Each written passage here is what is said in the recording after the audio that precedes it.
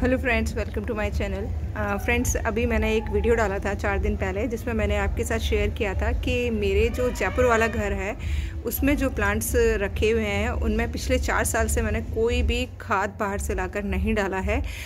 Even three years तक तो मैंने कुछ भी नहीं डाला था, लेकिन वन ईयर से मैं एक प्रैक्टिस यहाँ पर भी सेम वही प्रैक्टिस कर रही हूँ, जो कि मैं डेली में करती हूँ। उन प्लांट्स को जो भी मैं तीन चार दिन यहाँ रहती हूँ तो जो किचन में खाना बनता है, उसके पील्स और भी प्लांट्स की मैं कटिंग करती हूँ, उनको छोटे छोटे पीसेस में चॉप करके मैं उस प्लांट्स की अपर लेयर पर भर जाती हूँ।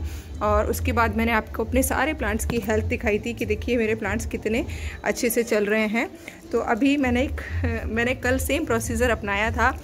और वीडियो भी बनाया था, लेकिन कुछ टेक्निकल प्रॉब्लम की वजह से वो मेरा अपलोड नहीं हो रहा है। तो मैं आज दोबारा उस चीज़ को मैं शेयर कर क्योंकि कई लोगों ने मुझे पर्सनल पे मैसेज किया था कि मैम एक बार करके दिखा दीजिए।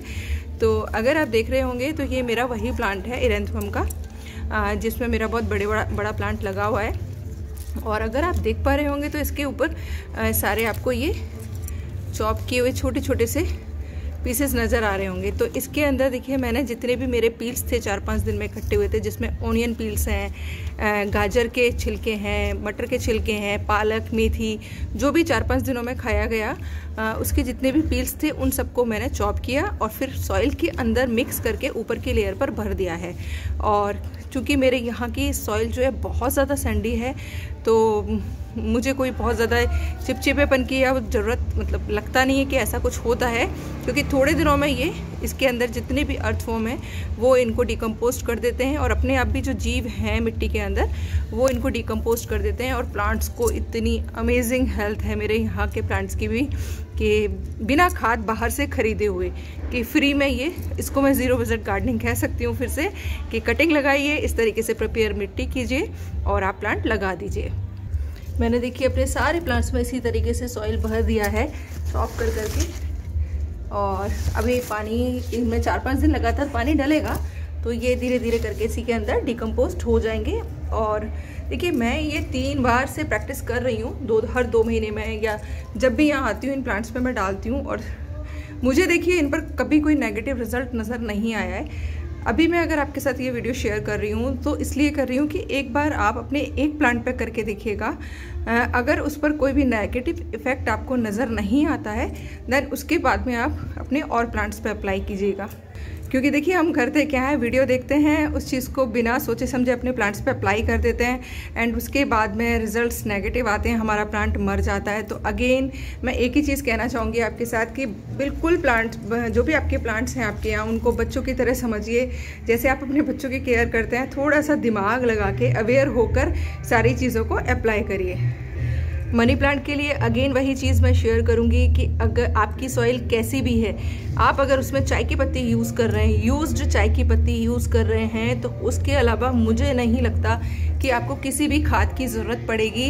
ये मैं बचपन से लेके अब तक का एक्सपीरियंस बता रही हूँ। ओनली चाय की पत्ती इसके लिए सफिशियंट रहती है और मनी प्लांट की बहुत अच्छी ग्रोथ होती है चाय की पत्ती में। देखिए, वैसे मैंने और भी इसमें डाले हैं चॉप करके। लेकिन अगर और कुछ नहीं है तो चाय की पत्ती में भी बहुत अच्छी मनी प्लांट ग्रो होती है। सॉइल देखिए मेरी कितनी अच्छी है। मेरी सॉइल में बहुत सारे अर्थ फॉर्म्स हैं। और उसके पीछे रीज़न यही है, क्योंकि मैं जो भी अपना यहाँ पर वेस्ट निकलता है, वो सारा का सारा सॉइल में मिला जाती हूँ तो इनको खाने के लिए भोजन मिल जाता है। और इनकी जो विस्टा निकलती है, वो एज ए वर्मी कंपोस्ट मेरे प्लांट्स को मिल जाती है। तो ये एक मदर नेचर का एक साइकिल है जो कि चलता रहता है और प्लांट्स हेल्दी होते रहते हैं। तो फ्रेंड्स अगेन इसी मैसेज के साथ आपको शेयर कर रही हूँ कि चाय की पत्ती बिल्कुल फेंकनी नहीं है, इसको सॉइल में मिक्स करिए।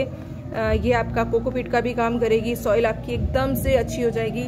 और ये देखिए, मेरा जो भी आज दो चार पत्ते हैं इसके अंदर, ये किचन का वही वेस्ट है। प्याज के छिलके हैं, थोड़ा सा इसके अंदर कैबीज़ है खीरा है और इधर ये सॉयल है, इसको इस तरीके से मिक्स करूँगी और प्लांट के अंदर मैं इसको फिल कर दूँगी, ऊपर के लेयर पर।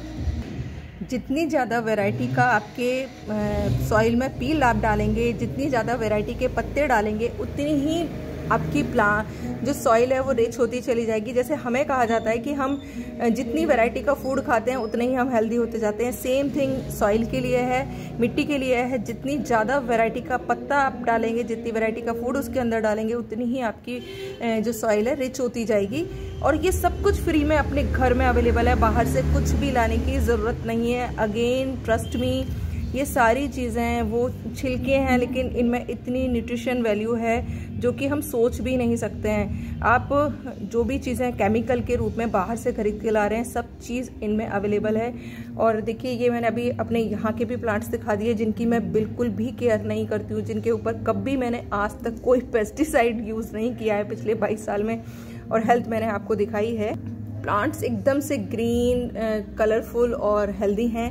तो फ्रेंड्स बस यही था आज का मैसेज एंड वीडियो पसंद आया तो लाइक एंड शेयर ज़रूर किया करिए, क्योंकि मैं सिर्फ़ इतना चाहती हूँ कि एक तो अपनी मदर जो भी हम ये सारा घर से वेस्ट निकालते हैं कचरों के ढेर पर डालते हैं, वो डलना बंद हो जाए और अगेन एक चीज़ कि आपके घर में इतना फ्री में इतना बढ़िया फ़ूड है आपके प्लांट्स के लिए कि आपको कहीं जाने की ज़रूरत नहीं है। तो फ्रेंड्स स्टार्ट कर दीजिए, जो भी चीज़ है अपने घर की मैनेज करना। और एक बार देखिए, पहले आप एक या दो प्लांट पर इसको अप्लाई करिएगा। हार्डी प्लांट्स पे आपको लगता है कि इसका कोई साइड इफ़ेक्ट नहीं हो रहा है देन उसके बाद में आप अपने सारे प्लांट्स पे अप्लाई करिएगा। क्योंकि कई बार ऐसा होता है कि हम लोग थोड़ा सा ज़्यादा एक्साइटेड होकर चीज़ों को यूज़ कर लेते हैं और फिर प्रॉब्लम क्रिएट हो जाती है। तो स्टार्टिंग में आप थोड़ा थोड़ा डालिए अपने प्लांट्स में और उसके बाद को जब आपको पॉजिटिव रिज़ल्ट आते हैं तो देन आप सारे प्लांट्स में अप्लाई कर सकते हैं इस चीज़ को।